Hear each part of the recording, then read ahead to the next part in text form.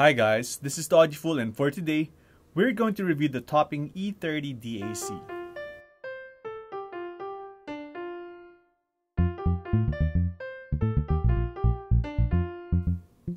I compared the Topping E30 to the built-in DAC of the Bluesound Node 2 and what I like the most about the Topping E30 is that it's very detailed yet pleasant sounding, it's very silent, it has a SINAD of 112 dB, which is even quieter than the topping D50S I reviewed before, which costs twice the price. And what's more is that I actually like the E30 better.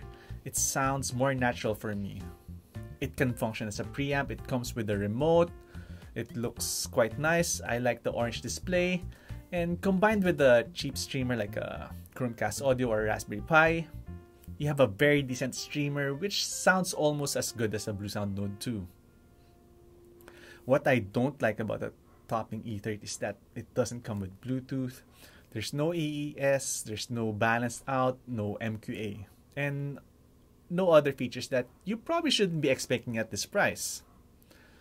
So maybe there's nothing really I don't like about it except that you could accidentally buy a topping A30 or D30 because those things are also available. What I hate about the topping E30 is that they released it with a bug. So the unit I have has a bug which has the absolute polarity reversed. And while they were able to give out the firmware, it only fixed the USB and SPDIF users are still left out in the cold.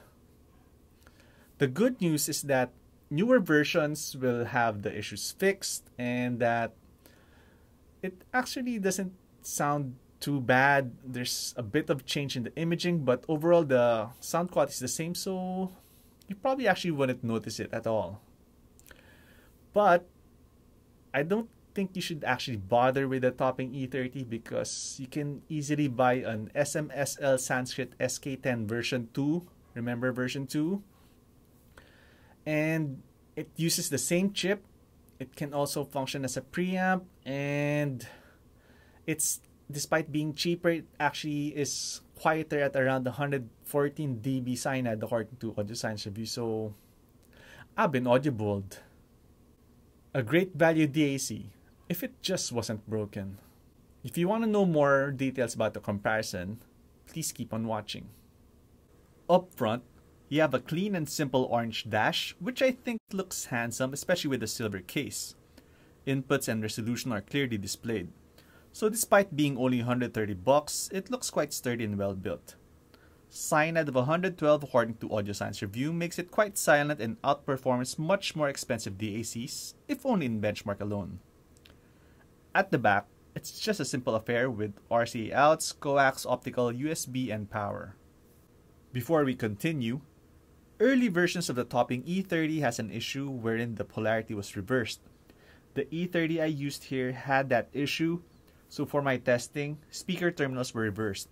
But I also tested with normal positive to positive, and while there were some changes in imaging, in position, it still retained the same level of detail and quality, so I would say that most people will not notice it at all, unless they are really familiar with the song. For the first test, I used two Bluesound nodes, one connected to the E30 using coax digital, and the other was using the built-in DAC. For my test tracks, it was 3 out of 5 in favor of the E30. The Node 2 is a little bit more musical, a little bit more forward, but loses out in terms of clarity and detail. If I listen more to bass-laden tracks, I would probably go with the Node 2 and jazz acoustics and orchestra with the E30. The bass has more volume in the Node 2, which makes for a more satisfying listen. The E30 is slightly tighter, but lacks the oomph of the Node 2. The E30 is the more neutral sound and volume isn't actually lacking, but the Node 2 just adds more volume for a bit more fun. Mid-range is slightly richer in the Node 2, and the vocals are a little bit more forward. The E30 is a bit more reserved, sounding leaner, but also slightly more textured. The difference isn't actually that staggering, and I could go both ways.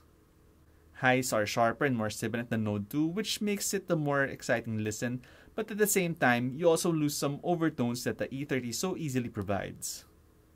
Soundstage is slightly larger in the Bluesound Node.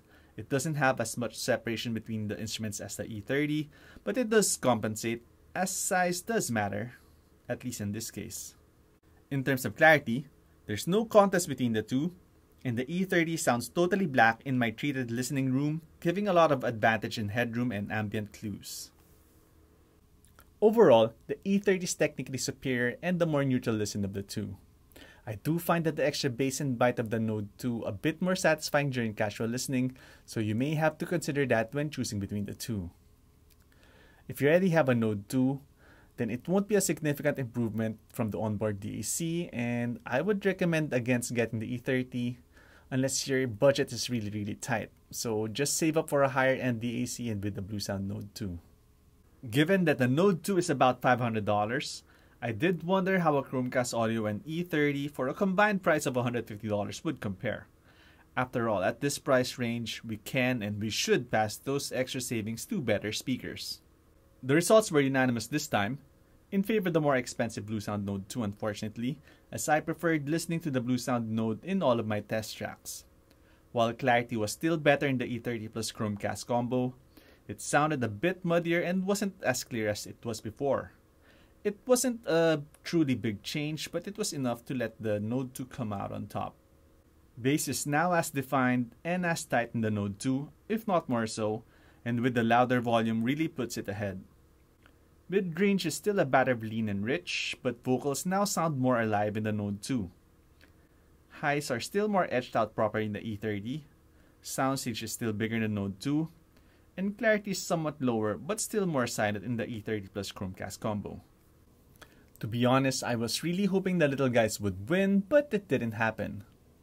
Still, I have to stress out that while the Bluesound Node 2 is better overall. It wasn't a whole lot better, and the E30 Chromecast is a fantastic combo that sounds great. And adding $350 to your speaker budget has a much bigger effect than the changes between the two. Consider this. You have a Bluesound Node 2 and an ELAC Debut 6.2s versus the E30 Chromecast and an ELAC Debut Reference 6.2s. Which do you think will sound better? Well, you actually don't have to think about that. As I always say, spend more first on the speakers, then amp, then DAC, then streamer. You'll get more bang for your buck that way. Thank you for watching and I hope you enjoyed this video. If you have any comments or suggestions, just write them down below. See you in the next video.